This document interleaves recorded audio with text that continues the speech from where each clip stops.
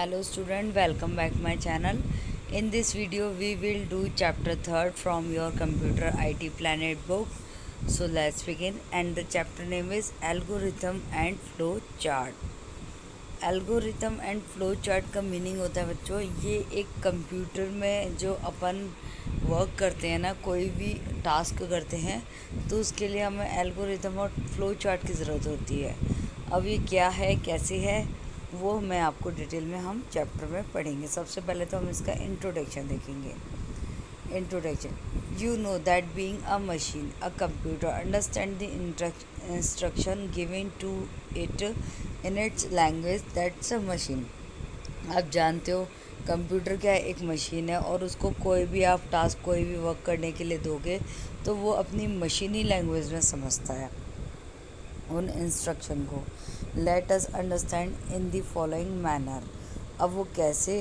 If you someone ask you to add eight plus five you will quick give the answer thirteen अगर आप किसी से पूछोगे कि एट प्लस फाइव क्या होता है तो वो आपको फटाफट आंसर दे देगा thirteen but the same question is ask from the computer it will not able to answer this लेकिन यही क्वेश्चन अगर आप कंप्यूटर से पूछोगे एट प्लस फाइव तो वो आपको आंसर तो कंप्यूटर इस आंसर को ऐसे इजीली नहीं दे पाएगा। क्यों? क्योंकि उसका एक अपना तरीका होता है।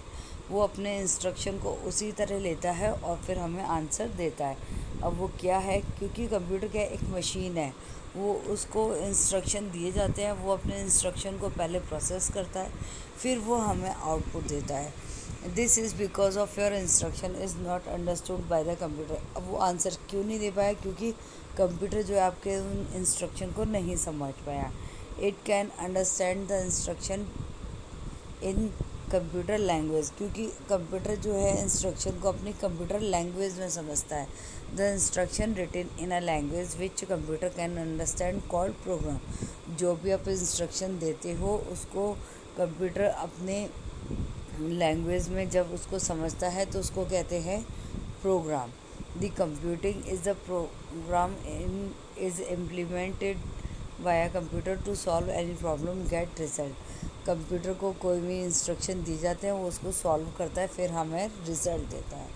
Basically program solve with three step तीन स्टेप लिए जाते हैं कौन कौन से? First algorithm second flow chart and third program algorithm में क्या होता है? Creating and algorithm flow chart making flow chart बनाना पड़ता है और प्रोग्राम में converting flow chart into program जो भी आपने ये फ्लो चार्ट बनाते हैं हम, वो किसमें कन्वर्ट हो जाता है? प्रोग्राम में.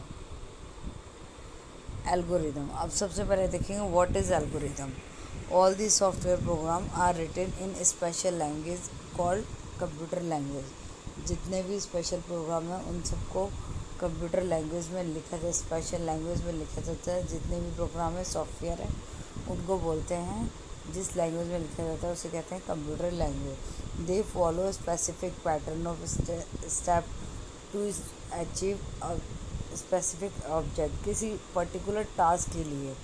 कोई पर्टिकुलर वर्क दिया जाता है, जैसे आपको पेंट करना है, या आपको कोई नंबर ऐड करना है, या आपको कोई नंबर डिवाइड करना है। तो उसके लिए पर्टिकुलर टास्क दिया जाता है तो वो उसी के बेस पे वो वर्क करता है।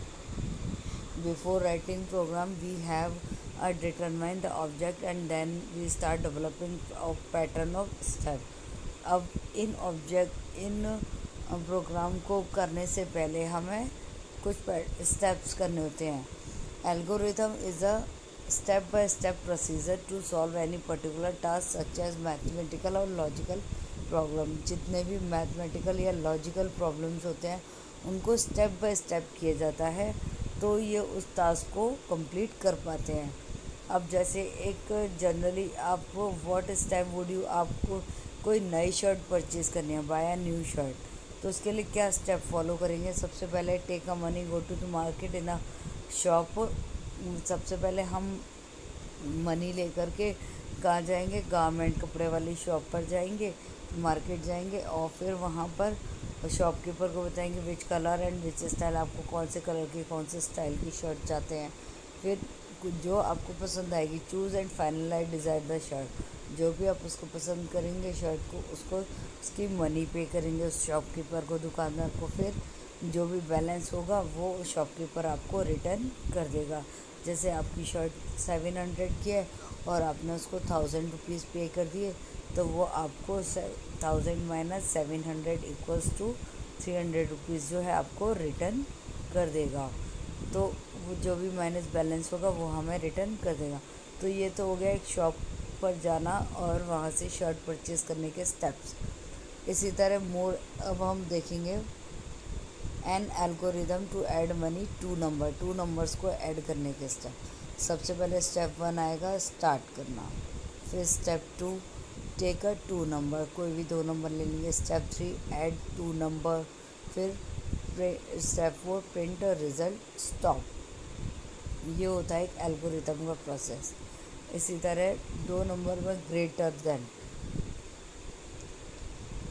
सबसे पहले इसके लिए हम क्या करेंगे? स्टार्ट फिर स्टार्ट करने के बाद टेक अ टू नंबर फिर दो नंबर ले लेंगे, फिर comparison of two this number A comparatively B then go to step four और नहीं तो स्टेप सिक्स वो ये कह रहा है कि ए बड़ा है तो बी से ए बड़ा है तो बी से तो स्टेप फोर पे जाए, नहीं तो स्टेप सिक्स पर आ जाए. तो प्रिंट ए अगर ए बड़ा है स्टॉप हो जाए. और अगर बी बड़ा है तो प्रिंट बी और go to step five stop हो जाए. ठीक है? This is an algorithm find greater ये होता है ग्रेटर नंबर पाने का एल्गोरिदम ठीक है, ये होते हैं स्टेप्स एल्गोरिदम अब बात करेंगे हम flow chart flow chart is a diagrammatic representation of a problem solving process example algorithm is called flow chart as a chart to flow chart of program जो एल्गोरिदम होता है, वो एक फ्लो चार्ट होता है, और जो मतलब एल्गोरिदम होता है, वो तो स्टेप से होता है। ये फ्लो चार्ट जो होता है, ये डायग्राम के बेस पर होता है। इसमें डायग्राम्स ड्रॉ किए जाते हैं, उस बेस पे प्रॉब्लम को सॉल्व किया जाता है और ये चलता है आपका टॉप टू बॉटम ठीक है? और इसको इसको यूज़ कहाँ किया जाता है? जोमेट्रिकल सिम्बल्स पे। इसको कैसे आप फॉलो करते हैं? जोमेट्रिकल सिंबल और दूसरा एरोज़ का यूज़ किया जाता है इसमें ऑपरेशंस को करने के लिए। अब जैसे स्टार्ट एंड स्टॉप बॉक्स ये oval shape oval shape symbol use to beginning and the end of the flow chart start और स्टॉप करने के लिए ओवल शेप को ड्रॉ किया जाता है फ्लो चार्ट में, जिससे कि अपना जो सॉफ्टवेयर है, जो प्रोग्राम है, वो स्टार्ट हो जाता है और एंडिंग के लिए भी हम ओवल को यूज़ करते हैं. Input output box it is a parallelogram, parallel, parallelogram shape box ये parallelogram shape box use to indicate input और आउटपुट प्रोग्राम जो भी आउटपुट है, आपका इनपुट है, वो इनपुट इसके अंदर दिया जाता है और आउटपुट दिया जाता है। तो इससे रिलेटेड प्रोग्राम से रिलेटेड फिर हमें रिज़ल्ट मिल जाता है। उसके बाद आता है प्रोसेसिंग बॉक्स ये रेक्टेंगुलर शेप का बॉक्स जो होता है, इसमें हम प्रोसेसिंग करते हैं फ्लो चार्ट की लाइक कैलकुलेशन डिसीज़न बॉक्स इसमें डिसीज़न लिया जाता है कि भाई नंबर ऐड करने हैं या ग्रेटर दैन देन बताना है या मल्टीप्लाई करना है या डेट बतानी है, कोई भी चीज़। अब फ्लो लाइंस फ्लो लाइंस क्या करती हैं? डिफरेंट शेप कनेक्ट अलग अलग शेप्स को कनेक्ट करती हैं। और कनेक्टर कनेक्टर क्या करता है कि use to join part flow chart flow chart के अलग अलग पार्ट्स को आपस में ज्वाइंट करता है, ठीक है? ये advantage of flow chart flow chart help in analysing the problem in more effective way जो फ्लो चार्ट होता है, जो भी हमारी प्रॉब्लम होती है, उसको इफ़ेक्टिव वे में प्रेजेंट करता है हमारी प्रॉब्लम्स को। और flow chart is a better way to communicating the logic of a system जो हमारी लॉजिक्स लॉजिक जो होते हैं, उनसे कम्युनिकेट एक अच्छे तरीके से बेटर वे अच्छे तरीके से अपन उसमें कर सकते हैं। Flow chart act as a guide during the program development phase जब आप प्रोग्राम में वर्क कर रहे हैं तो हमें एज ए गाइड की तरह हमें ये गाइड गाइड करता है। ठीक है? A flow chart help in finding out error कोई भी इसके बाहर एरर है तो उसको फाइंड करने में हमारी हेल्प करता है। अब disadvantage sometime the flow chart become complex if the program logic is quite long अगर फ्लो चार्ट आपका प्रोग्राम जो फ्लो चार्ट में आप कर रहे हैं वर्क उसका लॉजिक अगर आपका लंबा हो गया है तो वो लॉजिक अगर गलत हो गया है तो वो क्विट करना पड़ता है आपको। If you want to change और edit something in a flow chart have to read अगर उसमें कोई गलती हो गई तो आपको दोबारा से पूरा फ्लो चार्ट बनाना पड़ता है। Rules of making a flow chart there is a some rule of should be flow chart while drawing is proper flowchart in necessary requirement should be listened to out logical order. Logical order मतलब आपको बिल्कुल systematic इसमें work करना पड़ता है। Flow chart should be clear neat and easy to flow एकदम clear neat और easy होना चाहिए। Only one line one flow one flow line should be use to conjunction with terminal symbol एक line में ही उसके सिंबल आपस में कनेक्टेड होने चाहिए।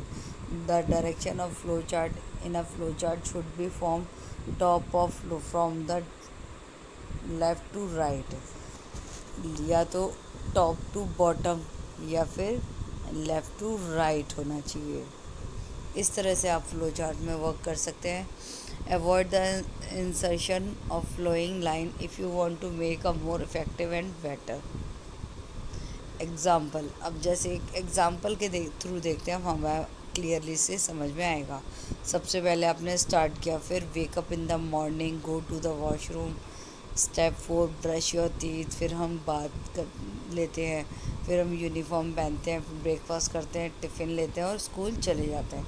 यह स्कूल जाने का एक सुबह उठने से लेकर स्कूल जाने तक का फ्लो चार्ट इस वो एल्गोरिथम इसी तरह फ्लो चार्ट करेंगे स्टार्ट कर दिया ओवल में फिर wake up in the morning go to the washroom brush your teeth सारे प्रोसेस करने के बाद स्टॉप अगेन हमने अभी पढ़ा था फ्लो चार्ट के अंदर ओवल शेप में स्टार्ट होता है ओवल शेप में ही एंड होता है स्टॉप होता है.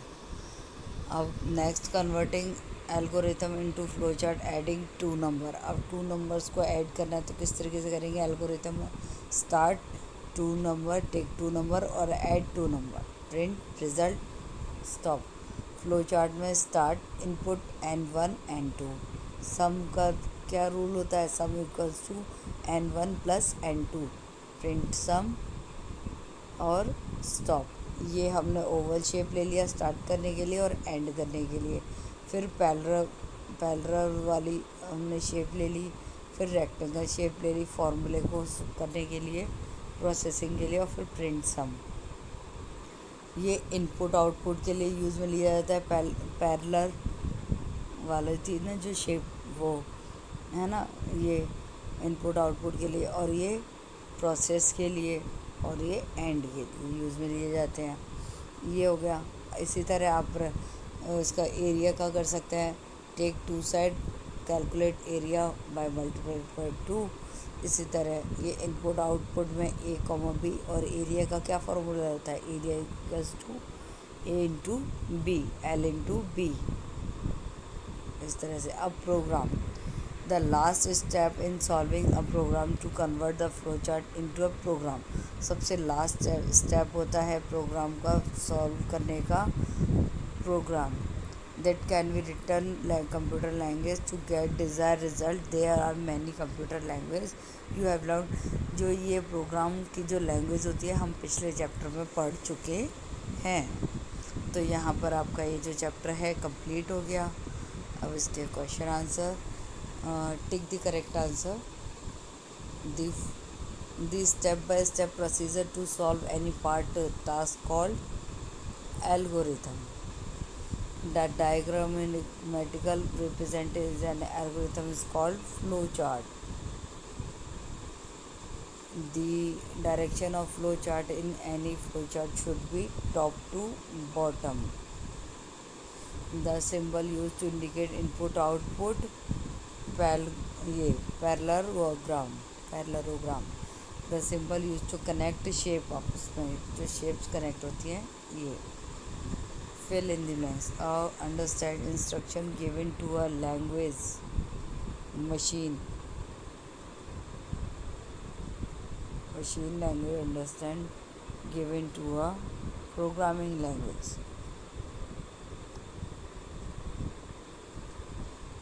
Flow chart is a represent